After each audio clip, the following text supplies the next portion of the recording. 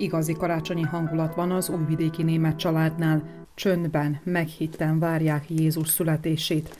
A jelképes ajándékok elkészítése és a fenyőfa díszítése a gyermek Andrea feladata. Nagyon szeretem a karácsonyt azért, mert valahogy mindig jobban szeretek adni, mint kapni, és szeretek olyan saját elkészítésű dolgokat csinálni a barátaimnak, meg ugye a szüleimnek. Az ünnepi terítékről nem hiányozhat a fokhagyma, a dió, a méz és az alma, mert a hiedelem szerint ezeknek az étkeknek egészségmegőrző ereje van. A vacsora előtt mézes pálinkával kocint a család. Ahány ház, annyi szokás. Így németéknél a halászlé a szentestei vacsora főfogása. A régi emlékek is felidéződnek. Családcentrikus vagyok eleve, mert ilyen nevelést is kaptam a apáméktól, és ilyen nevelésbe nőttem föl. És én úgy vagyok vele, hogy az a, ez a fontos. Tehát a család a fontos.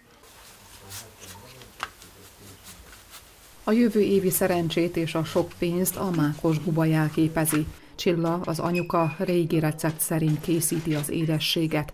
Az asztalra mézzel tálalva kerül. Az ünnepi készülődésben elmélyülten értékelhető a múló esztendő. Munkánkból kifolyólag elég ö, ritkán vagyunk együtt, nem sikerül sokszor együtt ö, étkeznünk, és hát együtt tölteni az időt, sétálni, beszélgetni. Úgyhogy ez a, az évnek ez a gyönyörű, gyönyörű ideje arra jó, hogy ugye kicsit össze bújjunk, és együtt legyünk, és közösen töltsük az időt, közösen főzőcskézzünk.